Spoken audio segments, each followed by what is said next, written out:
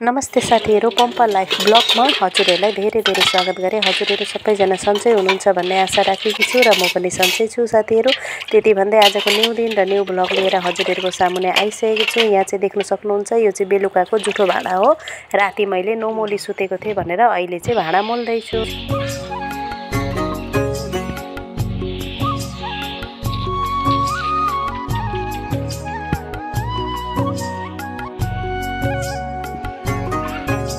रातिको जुठो भाँडा मोलेर आइसकेपछि चाहिँ मैले चिया बसाएँ। चिया बसाएपछि चिया चिया बसाएपछि चिया अब चिया पिउने हो। अहिले चाहिँ बिहानको साढे छ बजेको छ। साढे छ बजीदेखिको चाहिँ मैले भ्लग स्टार्ट गरेको छु साथीहरू।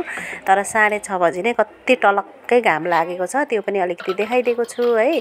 चिया पिसे चिया पिसकेँ चिया पिसकेपछि चाहिँ मैले साथसाथै चिया पि बनाएको भाँडा र चिया पीको गिलासहरू पनि सनक्क पारेर मोलेर थन्काइदिइहाल्छु साथीहरू किन यहाँ देख्न सक्नुहुन्छ कति घाम लागिसकेको छ है।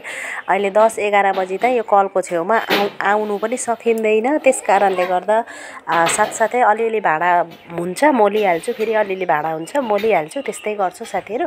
त्यसपछि यहाँनिर भाँडाकुँडा थन्काउनु थालेँ। अब चाहिँ म अगाडि भ्लगमा के के गर्छु हजुरहरूले हेरिरहनु होला है। जसरी सधैँ साथ सपोर्ट दिनुभएको छ त्यसरी नै सधैँ साथ सपोर्ट दिइरहनु होला। मैले चाहिँ चिया चिया बनाएर राखेर मैले चाहिँ भात पनि बसाइदिइसकेको थिएँ। त्यसपछि यहाँ मेरो भात पनि पाक्दैछ।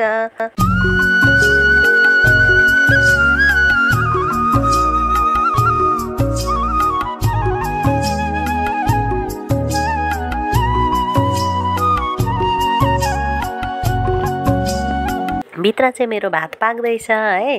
भित्र मेरो भात पाक्दैछ र म यहाँ चाहिँ मुन्टामुन्टी टिप्नु आइसकेँ है। बिहा बिहानै मैले अलिकति मुन्टा त टिपेर राखेको थिएँ। उठ्ने बित्तिकै मैले अलिकति मुन्टा टिपिहालेँ।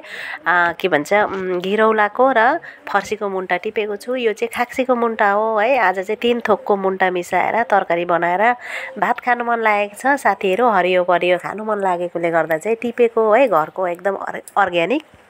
त्यसपछि घाँटी चाहिँ पुरा खसखसाएकोले गर्दा अलिक बोल्नु अप्ठ्यारो भएको छ।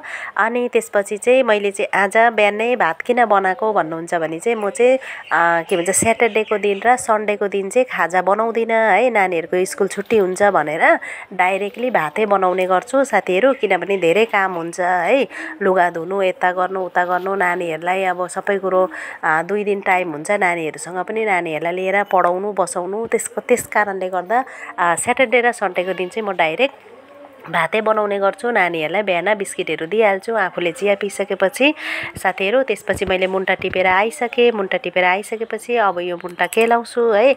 आजको ब्लग चाहिँ हजुरहरूलाई के कस्तो लाग्यो मन पऱ्यो भने लाइक सेयर सब्सक्राइब गरी मलाई सपोर्ट गर्नुहोला मेरो साथमा रहनुहोला। जसरी माया दिइरहनु भएको छ त्यसरी नै माया दिइरहनु होला है। त्यति भन्दै आजको यो भ्लगबाट बिदा लिएँ। अब नेक्स्ट भ्लगमा फेरि भेट्छु। त्यतिन्जेलको लागि चाहिँ सबैजनालाई नमस्कार एन्ड बाई बाई